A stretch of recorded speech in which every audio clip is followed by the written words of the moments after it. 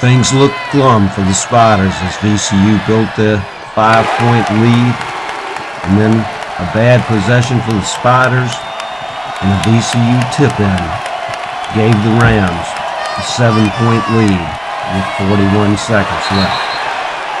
Two Cedric Lindsay foul shots cut it to five.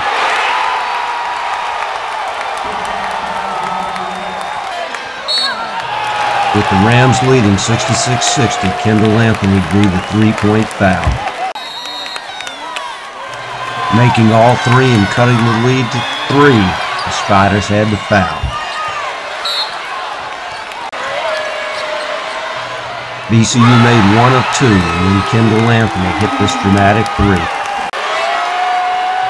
With the VCU lead at one, the Spiders had to foul again. Daniels made both foul shots to put the VCU lead back to three when the Spiders came up court.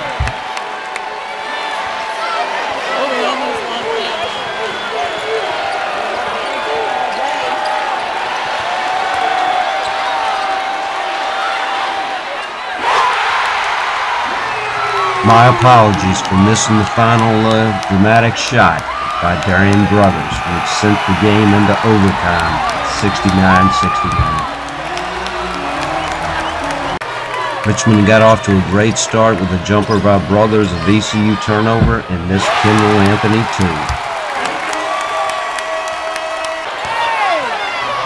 Cedric Lindsay finished strong on this three-point play.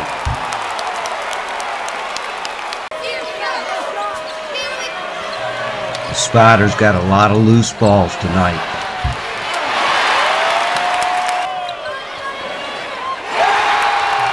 Kendall Anthony's three gives the Spiders a seven-point lead.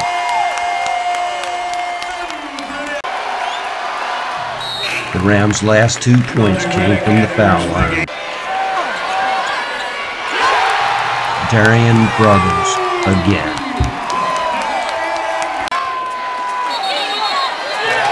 Another VCU turnover on this offensive foul.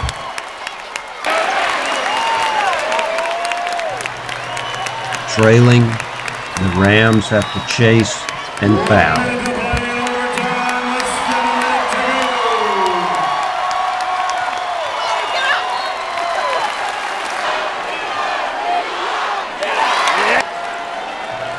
Another Anthony foul shot and the Rams' last gasp.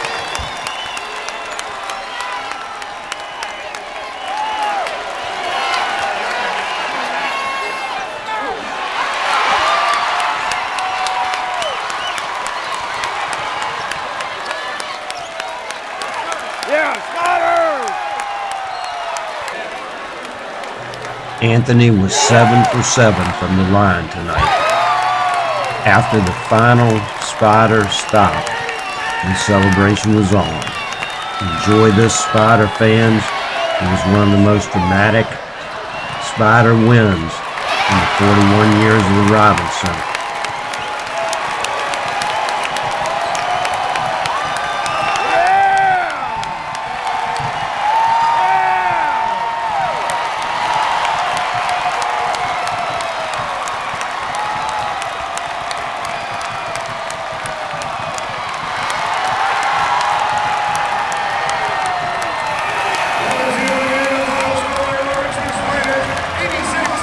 Final score, Richmond 86, VCU 74.